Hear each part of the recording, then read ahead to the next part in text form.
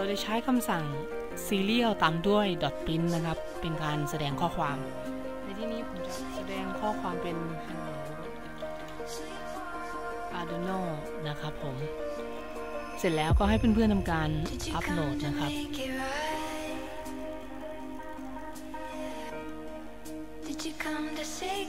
โอเค เมื่ออัปโหลดเสร็จแล้วจะสังเกตว่าบนหน้าจอมอนิเตอร์นะครับ มันจะแสดงข้อความ Hello Arduino นะครับผม ถ้ายังไม่แน่ใจก็ลองเติมเข้าไปอีกนะครับโอเคเสร็จแล้วก็ทำการอัปโหลด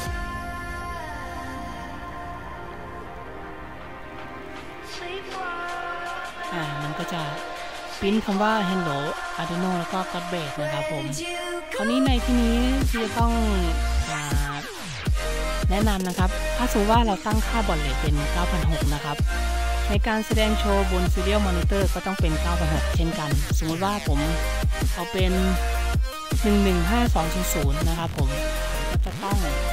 ตั้งตรงโปรแกรมตัวนี้เป็น 115200เช่นเดียวกันนะครับผมก็ลองกดอัปโหลดดูครับ